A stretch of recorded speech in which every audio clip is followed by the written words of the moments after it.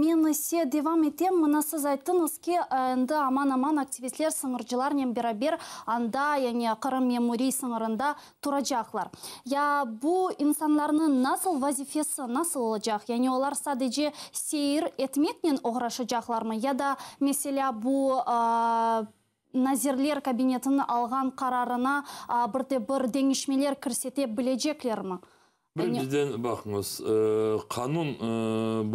Ya da kanuna göre orada şimdi e, sınırdan e, esas Ukrayna'dan işgal edilen Kırım Yarımadağı e, böyle mallar taşınmayacak. Rusya dediğim gibi торговли не будет. Ama bu yaşayış, hayat. Eğer bir şeyler olabilir, insanlar sınırdan e, devam edecekler e, buraya gelmeye, oralara varmaya, e, çeşitli türlü insanların şahsi e, malları olabilir, bazıları göçeler, bazıları belki bunda ballarına gelirler, bir şeyler varlar. Kanun bu, kanunun içinde bunlar hepsi e, gösterildi. Nasıl bu sınırdan insanlar geçebilirler? Ama böyle kontrabanda olmasın deyip, rüşvetler verip insanlar bazıları gene de alışveriş yapmasın deyip orada bu cemiyet taraftan gözlemciler olacak.